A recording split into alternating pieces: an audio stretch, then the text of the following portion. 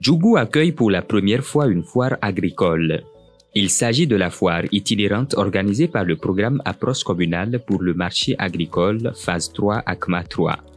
L'objectif est de créer un environnement facilitant les rencontres B2B, de développer des liens d'affaires et de réseautage entre les acteurs directs et indirects des chaînes de valeur ciblées par le programme ACMA 3. L'étape de Djougou est la dernière étape de cette foire itinérante.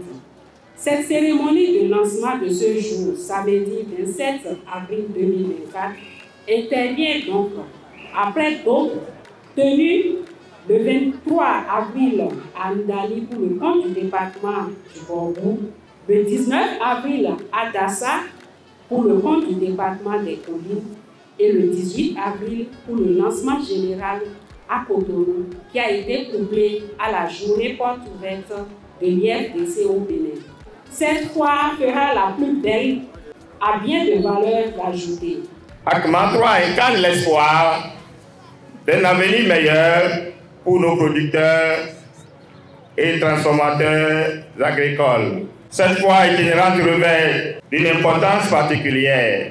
Elle est un symbole de notre détermination et de notre engagement collectif à promouvoir nos filières agricoles prioritaires telles que le maïs, le soja, le manioc, le maraîchage, l'arachide, la volaille et les petits ruminants. Financé par l'ambassade du Royaume des Pays-Bas près le Bénin et mise en œuvre par le consortium IFDC Caire Bénin Togo et l'Institut royal des tropiques, cette foire revêt une importance capitale pour les populations de Djougou. Dans la commune de Djougou, on n'a pas souvent la chance d'avoir les foires agricoles et surtout présenter les produits, que ce soit les produits finis, c'est-à-dire les produits transformés et les produits non transformés.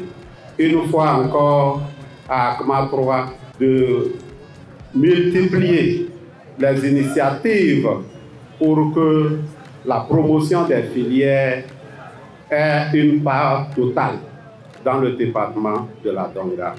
Je suis convaincu que notre collaboration avec le programme ACMA 3 contribuera de manière significative à la croissance et à la prospérité de nos communautés. Comme mécanisme pour promouvoir le développement des activités entrepreneuriales, cette foire a permis aux exposants de vendre et de nouer de nouveaux partenariats avec des acheteurs potentiels. Notre arrivée permet à ce que les bénéficiaires de ACMA 3 puissent être en contact direct avec la FECECAM Bénin, connaître nos offres et les conditions d'accès à nos produits.